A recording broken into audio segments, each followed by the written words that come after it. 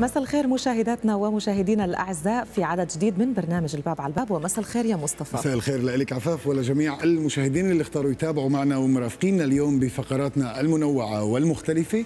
ولكن ولكن القاسم المشترك ما بينها هو إن كل من واقعنا اللي بنعيشه بما إنه الباب على الباب فبالنهاية هاي المواضيع والقضايا بتخصنا جميعا. ولأنها بتخصنا عفاف بدي أتوجه للمشاهدين والمشاهدات وأسألكم. إذا سألتك أو سألتك مين أثر فيك بحياتك؟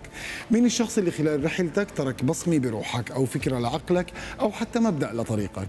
لا شك بأنه اللي خطر على بالك في هاي اللحظات هو اسم شخص كان له هذا الدور في حياتك. وبهالأيام مصطفى ما نقدرش ننكر إنه كتار صاروا يلقبوا حالا بال influencers أو المؤثرين بالذات في عصر الإنستغرام والتيك توك صحيح. بدون ما يكون في أداة حقيقية لتفسر معنى التأثير أو حتى تقيس مداه وكأنه صار التأثير هو لقب اللي مقرون بعدد المتابعين وبالأرقام كشرط أساسي لحتى تترك أثر بس خلونا ما ننسى إنه التأثير بإمكانه يكون سلبي وسلبي جدا. بكثير من الأحيان.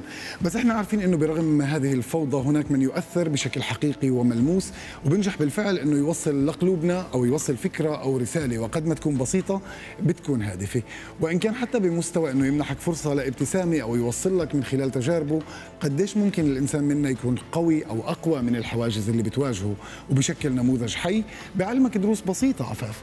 لكنها دروس أساسية في الحياة. وعلى ذكر هاي التفاصيل بشكل خاص مصطفى بفكر إنه ضيفنا في الفقرة الأولى صحيح. هو خير نموذج ودليل على هالمقدمة. خلونا نبدأ بفقرات الباب على الباب.